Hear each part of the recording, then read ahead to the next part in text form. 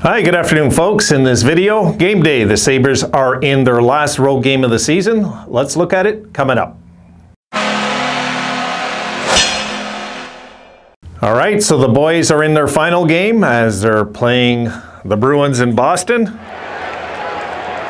down, calm down. Let's see if the boys can win it.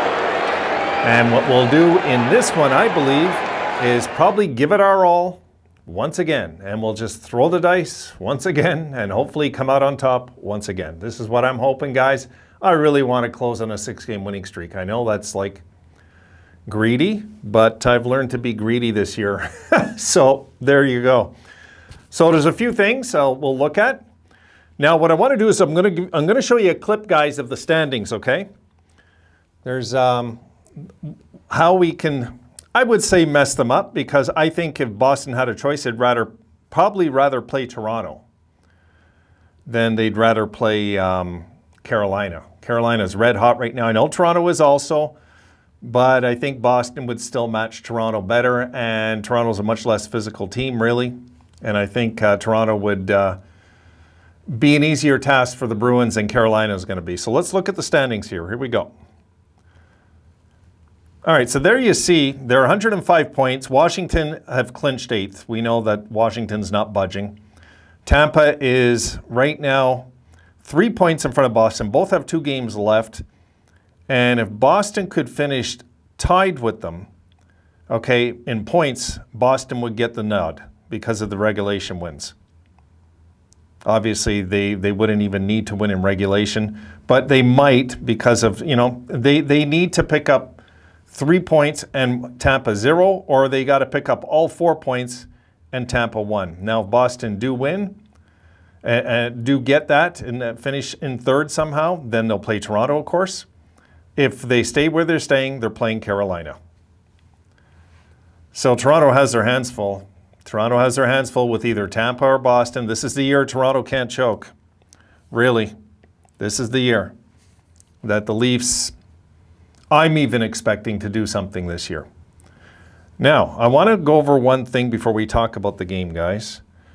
Uh, I, I browsed through the notes and I noticed a few notes, uh, a little confused about the, the standings where we are right now for Vegas's draft pick. So let's take a look at this, okay? Because there is some there is some possibilities. Somebody thought I, I forget, uh, and I'm not calling you out, but somebody thought it was 15th. It's it's actually 16th. Let's take a look at this clip. Okay. You see currently Vegas is in 16. Six, it, it, very simple. I mean, take a look at the points. Vegas have the best points. They got the worst odds. They finished the lowest. Uh, the odds are the same though if you look, 0.5, 0.5. But Vancouver could finish higher than Vegas in the standings, which would bump them down to 16th. And we would get that 15th pick. See, Vancouver has two games left, 89 points, and Vegas has one game left, with uh, 92 points. So Vegas and Vegas are playing in St. Louis. So if, if Vancouver's been on a hot streak too, so Vancouver can win out their last two games, guys, the odds are pretty pretty good that we could actually get the 15th pick. Forget the 16th, maybe even the 15th. So that's uh, that's that. I just wanted to show you that. I'm sorry I, I forgot who, who who posted that, and I don't want to start going and checking right now, but. If there's any confusion right now, this moment, the Sabres do have the 16th pick. Could we get the 15th? Yeah. Yeah, with a little luck, we could. Let me check Vancouver's final two games because I think Vegas is going to be so not motivated to even play another hockey game. That uh, and St. Louis, okay, right now in the standings, are fighting for home ice. Uh, uh for home ice right now, they're 109 points. So is Minnesota. St. Louis have that one last game left. They have to win it. And Minnesota uh, have to win just one of the last two, but anything can happen this time of the year. Now, Vancouver's last two games, let me just check, guys. Because if Vancouver could win out, they got LA at Vancouver, Vancouver at Edmonton. No, these aren't going to be easy games for the Canucks. Won't be easy, but anything can happen, guys. No matter what, what we want to look at with that is that the Vegas have a 0.5% chance to win the lottery a 1 in 200 chance that they'll get the combination. So we have to hope now, and I might make a follow-up video for that Vegas uh, situation. I might make a follow up. I've seen some of you like the other one and had a little fun with it. Maybe we'll just have a closeout to that one. But now Vegas, if they can not win the lottery, then yeah, we're going to get a we're going to get another top 16 pick in the you know we're going to be in the first half with two two uh, first rounders of that lot of that uh, draft and uh, you know so yeah, I'm still pulling for Vancouver to maybe squeeze out those two games somehow. I think they could beat LA.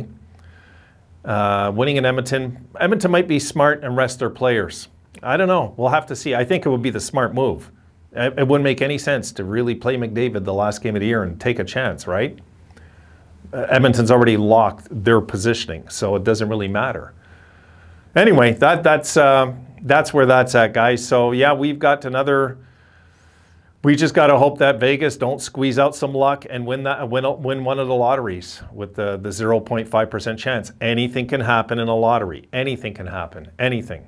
It can happen. Yes, it can. It, I know it's a long shot, but it can happen. You ever won $10 on a scratch ticket for $1? Well, there you go. You beat those odds. You know what I mean? You can, doesn't happen often, but it does happen. So if the Sabres, uh, and I'm guessing Vegas will nab the pick if they jump up to number six. You know, because don't forget, guys, they can only move up 10 positions this time, right? Anyway, I'm going to do a video on the lottery. We'll, we'll talk about it. Let's wait till the positioning's done and it's finished, and then we'll look at it and break down the odds and, and, and everything. You know, we'll just break it all down, what, what, um, what can happen, what the Sabres are looking at. I mean, the Sabres could win the lottery, guys. We literally could win the lottery and, and get the number one pick. It's not impossible. Not impossible. So I'm just going to like go with whatever happens. And uh, I'm, I'm just draft right is all I care. Just draft the right players. Do not, and I don't mean Shane Wright. I'm talking like draft, draft smart. You know, if and I, it doesn't matter what's available. I never think of a team's current needs in the draft. I just don't because it's not going to make a bit of difference in three years from now because we'll have addressed that issue by then. When the Habs took Kotkaniemi, I was really surprised, really. And they and I talked to my friend on this, and right away he said, "Yeah, but we need a centerman." I'm like, do you understand that this guy's not going to be like a number one centerman maybe for five years? Do you get that? Like, do you, you know? So, and, uh, and between, uh, and during all that time, after all that, they, they got Suzuki in a trade, and you know what I mean? So you always address your needs and trades and free agency, immediate trade, uh, immediate needs. But when it comes to long-term needs, every team has long-term needs, every team, um, in every position. So yeah, I'm with Brian Burke's mentality. I always have been. You draft what is the best, you believe the best player left available, whether it be forward, defenseman, goalie. You know, usually it's not goalie in this day and age, but uh, I, that's what I would hope they would do. I, I, I don't care if we draft a defenseman uh, when it comes to our pick. I really don't care.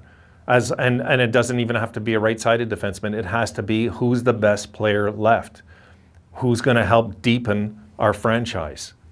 Because this is what it comes down to eventually, guys, is smart draft choices when it comes to winning cups, eh, as we all know. So the boys today, let's get back to this one because I'm rambling and I, I want to close up. I got pasta cooking and soup cooking, guys. I'm on a roll, so I got to get back out in the kitchen. Uh, the boys today, uh, there should be a very loose atmosphere, I believe. They should come right out just playing good. Let's hope that uh, be nice to see Tage get a few, wouldn't it? Hey, and then we go right to that last game of the year with Tage on the bubble of 40. That would be nice. It would be. So it'd be nice if Tage got a few today. I'm hoping uh, whoever gets a, a, a, you know, whoever scores today just scores. But I would, I am really pulling for Tage Thompson to get some goals, or Skinner. I'd like to see him have a shot at 35 also. So we'll just see. We'll see how this pans out, guys. It's going to be very I'm going to be a little nervous for this one because I really want to go into the last game of the year on a five game winning streak. And if we don't win today, well, so be it. It's been a fun run this year, no matter what down the stretch. But I'd like to have the whole thing at this point. I just would. I want the whole thing. I want to just milk the whole thing right to the end now, if we could. It would be just great if we could, but we'll see what the hockey gods decide, guys. All right, that's it. I'm to put up this video, get it up because it's late. I got in late. I got to get this video on ASAP. I will see you folks in the post game. Go Sabres. Let's make it five in a row. Come on, boys, do it. See you then, guys.